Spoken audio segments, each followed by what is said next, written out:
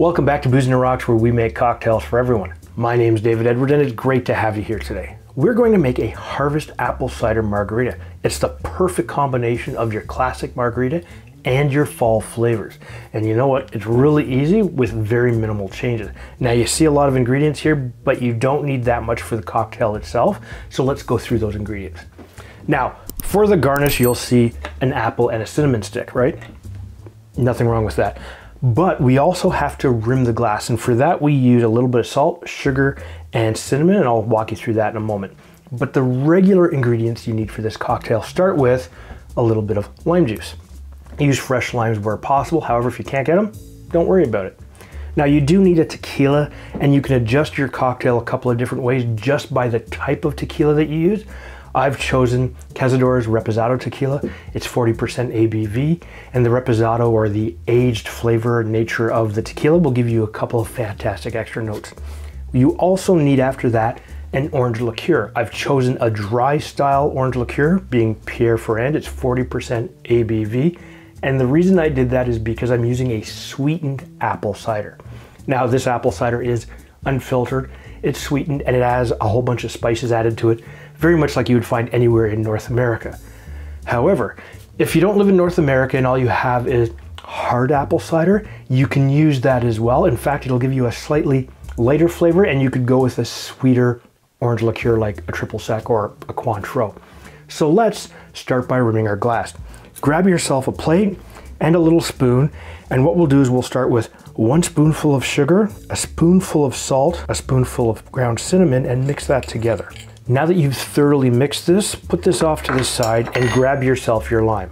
Now we're going to use the lime for two parts. A, we're gonna put half an ounce and 15 mils directly into the glass, but we're also going to cut this in half and then use it to rim half the glass and then dip the glass in the cinnamon sugar salt mixture. Look at that, absolutely gorgeous. Now the reason I rim half the glass is because whoever you're giving the glass to may not want any of the cinnamon or salt or sugar to change the flavor of the cocktail. So I always give it sort of a half and half.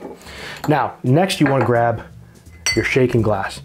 Take the lime that you have already cut in half, and as I said, we'll just squeeze that in. Now that you've done that, take your husk and put this off to the side. You're going to need it, and I'll explain why in a moment. So grab your tequila of choice. In this case, I said I'm using my Reposado.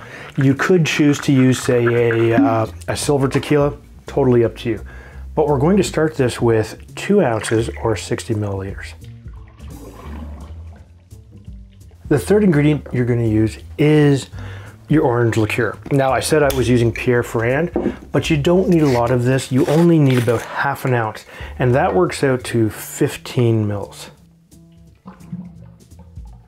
Now the fourth ingredient that you're going to use is an apple cider. And th at this part, this is where you can actually deviate on the recipe slightly. So if you don't have this type of apple cider, I said you could use a hard apple cider or an alcoholic apple cider.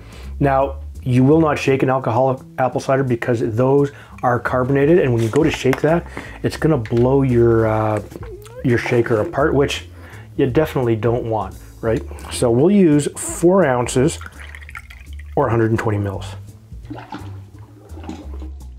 We are going to shake this as our next step. And what we'll do is shake this for a good 10 seconds, maybe 15, depending upon how much dilution that you actually want for this cocktail. Uh, if you want a little bit less, shake it for a little bit less. But again, we're trying to chill our cocktail at the same time. So make sure this is down, get a good seal, give it a flick, and shake it with a smile. Yeah. Pop that off with the strength of a thousand apples. And then just put this off to the side for now.